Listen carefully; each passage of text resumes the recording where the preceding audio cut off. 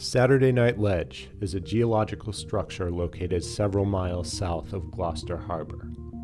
It is essentially a mound of solid rock with a narrow trench carved into it. The nutrient rich water of the surrounding area fuels the growth of interesting and bizarre invertebrate life in the trench. Only accessible by boat, the dive begins by dropping 100 plus feet straight down a mooring line.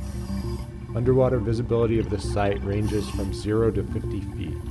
If conditions are bad, divers will tie off wreck reels to the mooring line and drop them at the beginning of the trench, ensuring a safe and quick return to the line at the end of the dive. At the deepest part of the trench, the walls extend 40 feet above you. The surface is another 100 feet above them. It is cold and dark down here. When you're in a place like this, you travel deep into your own head.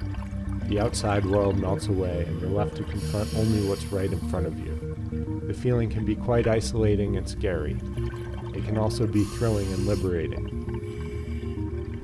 While diving with a single tank, if you make it to the end of the trench, you have at most a minute or two to look around before you need to quickly swim back.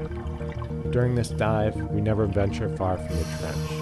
This narrow passage provides tangible navigation back to the safety of the mooring line. Given the depth and the general New England dive conditions, it can be very disorientating anywhere outside of the trench. The preceding video showcases an abbreviated journey through Saturday Night Ledge and back to the mooring line. Although the video can never do justice to the experience of actually being there, I did my best to visually represent this extraordinary place.